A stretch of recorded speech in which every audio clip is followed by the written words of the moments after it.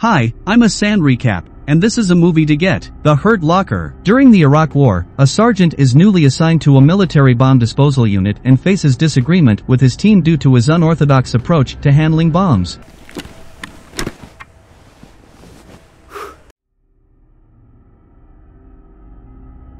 In 2004, a team of three soldiers from an army bomb disposal unit were checking out a report of a homemade explosive device. They utilized a high-tech drone robot to inspect the device, which was made of several unexploded artillery shells connected and concealed by plastic and cloth sheets. The team, headed by Sergeant Thompson, determined that they could destroy the IED by using plastic explosives activated from a secure location. Thompson said that the explosion would cause minimal damage to property and no loss of life. The robot had a small card attached to it, which was then sent back into the blast area. However, before reaching the IED, the trailer lost a wheel. Thompson, wearing a heavy bomb suit, went down to the trailer, picked it up, and carried it to the IED to properly set it up. As he walked back, his partners, Sergeant Sanborn and Specialist Eldridge, monitored the surrounding area for anyone who may be in the blast zone. When Thompson was approximately 25 meters away from the bomb but still in the dangerous area, Eldridge noticed a man operating a butcher shop and using a cell phone. Eldridge yelled to Sanborn and Specialist Eldridge ran towards the man, demanding he drop the phone. Sanborn instructed Eldridge to shoot the man,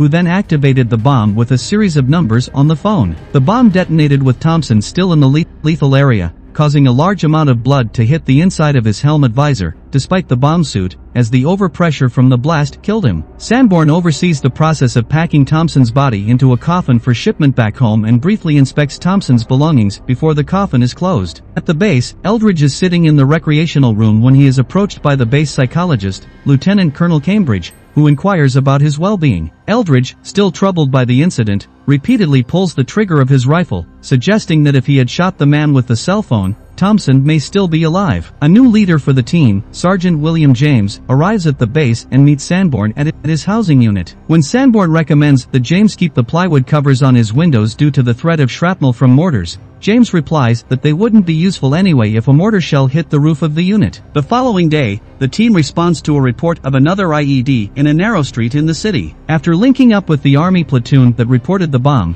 James dons a suit similar to the one Thompson wore previously. As James approaches the bomb site, he throws a smoke grenade, causing frustration for Sanborn who cannot see James to provide further instructions. James also does not communicate with his team members, which frustrates Sanborn further. James finds an artillery shell buried under a pile of trash, which he disarms easily. He then sees a secondary wire leading away from it, which he follows to find a junction of six more cables. When he pulls the junction connector, he uncovers six more shells, and another cable leads to a nearby building. James disarms the six shells and sees a man quickly leaving the building, presumed to be the bomber. James shows the man one of the small detonators from one of the shells and smiles, causing the man to disappear from view. Back at their Humvee, Sanborn tells James that he needs to communicate more during opera operations and not treat his job as if it's a solo act, but James brushes off the advice. Later, when James and Sanborn talk while grooming for another day's work, James ignores Sanborn's suggestion again. The team responds to another bomb threat, this time in a car near a UN building. James dons a bomb suit and approaches the car, which catches fire. He puts out the fire and begins to examine the trunk, finding the same type of shells from the previous incident. James takes off the bomb suit as it won't protect him from the amount of explosives in the car. He disarms the shells and searches the car for the trigger device, ignoring Sanborn's attempts to communicate. After several tense minutes, James finds the trigger and returns to the Humvee, where Sanborn hits him for not acknowledging him. A colonel on scene is impressed with James' handling of the situation and calmness, and expresses further admiration after James gives an exact count of the number of bombs he's disposed of. Sergeant James encounters an Iraqi boy who sells bootleg DVDs to the soldiers at the base perimeter. James demands his $5 back for a subpar movie he bought from the boy, who goes by the name Beckham. When Beckham tries to scam James, he is challenged to block a shot in a soccer goal area. Beckham succeeds and James agrees to buy another movie from him, warning him of consequences if it's defective. The team heads out to the desert to dispose of explo explosives they have collected and while they're setting up another bomb,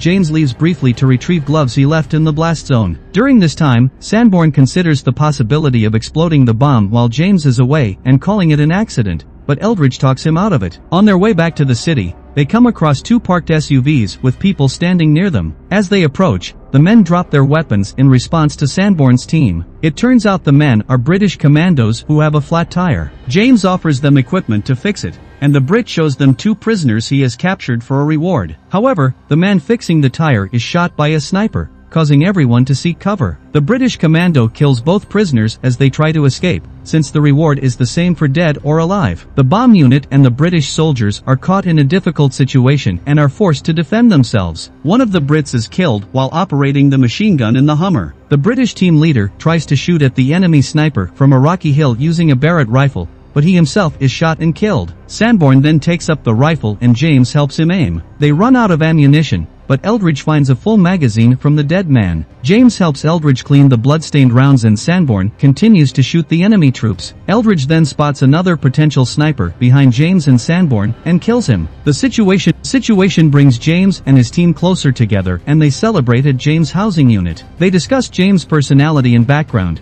and he shows them a box of parts from bombs he's disarmed as a reminder of the dangers of his job. The incident in the desert has shown James to be a team player. The next mission sees Colonel Cambridge join the team as they inspect a building suspected of storing bomb-making materials. Cambridge remains outside while the team searches and they find evidence of the bomb makers having recently left. Inside, James discovers the body of a young boy who he believes is Beckham, with a large incision in his chest revealing plastic explosives. He brings the boy outside, but Cambridge is killed by an exploding IED while trying to evacuate the locals. Eldridge is unable to come to terms with Cambridge's death and searches for him before finding his helmet in the blast area. Back at base, James approaches a DVD vendor at the perimeter and asks about Beckham, but the vendor's limited English prevents him from providing any information. James verifies the vendor's status with a nearby sergeant who confirms he is cleared. Later, James forces the vendor to drive him to Beckham's house after he packs up his merchandise. At the house, James questions a man in the kitchen at gunpoint,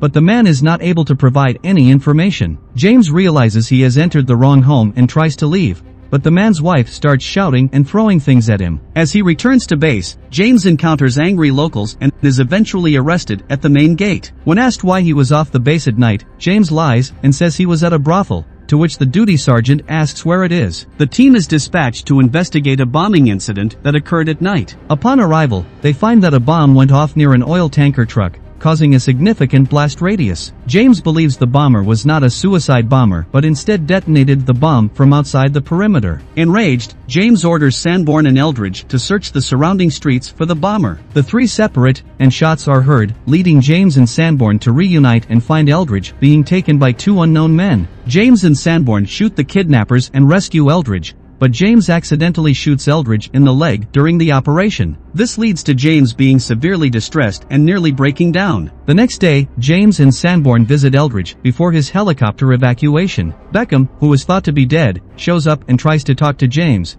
but he ignores him. At the helicopter, Eldridge is angry with James for shooting him and accuses him of seeking an adrenaline rush by taking them into a dangerous situation. Eldridge is then flown away for medical treatment. Sanborn and James respond to a bomb alert and find a man in the middle of a plaza. James orders the man to kneel and walks towards him. The man's coat reveals that he is wearing C4 explosives attached to steel bars, locked together with padlocks. The man pleads for his life and says he has a family. With only two minutes left on the timer, James tries to cut the locks, but there are too many. He must leave the man and the bomb detonates, killing the man. James is thrown by the blast, but only stunned. On their way back, Sanborn expresses fear of dying in Iraq and never starting a family. James tries to comfort him. When their rotation ends, James goes home but struggles to adjust to civilian life. This leads him to return to Iraq and the movie ends with him approaching another bomb site in his suit. In the early stages of the Iraq invasion, Sergeant William James takes over as team leader for an explosive ordnance disposal unit in Bravo Company, U.S. Army. He replaces Staff Sergeant Thompson, who died from a detonated IED in Baghdad. Along with Sergeants J.T. Sanborn and Specialist Owen Eldridge, they work to neutralize IEDs while communicating through radio and providing protection with rifles. James's unorthodox methods cause Sanborn and Eldridge to view him as reckless. At Camp Victory, James befriends a young Iraqi boy, Beckham, who sells pirated DVDs to soldiers. The team is then called to the United Nations building in Baghdad to handle a car bomb. As James carefully examines the bomb, Sanborn and Eldridge provide cover. Sanborn becomes wary of people observing them from nearby buildings and suggests calling in engineers to disarm the bomb, but James disregards his concern and successfully disarms the bomb himself, angering Sanborn. The EOD team gets into an enemy attack while returning from destroying bombs in the desert and three of the British mercenaries are killed in the battle. They then go on a mission to a warehouse to collect undetonated ordnance, where James finds a dead boy who has been surgically implanted with a bomb. James believes the boy to be Beckham and tracks down the man responsible for turning the boy into a body bomb. However, he ends up being kicked out of the house by the man's wife. That night, Eldridge is accidentally shot in the leg during a mission and the next morning, James is approached by Beckham, who is still alive. However, James ignores him, leading to Eldridge blaming James for putting his life in danger for an adrenaline fix. With just 48 hours left in their deployment, James and Sanborn are summoned to deal with a man who was forced to enter a military checkpoint with a ticking bomb strapped to his chest. James is unable to defuse the bomb before it goes off and must escape. On their way back to base, Sanborn becomes emotional and confesses to James that the pressure of being an EOD soldier is too much for him to handle and he's looking forward to starting a family outside of Iraq. James returns home to his wife and child but becomes restless with civilian life. In a moment of self-reflection, he speaks out loud to his baby son and realizes that there is only one thing he truly loves. James then returns to Iraq for another year of service with Delta Company's EOD team.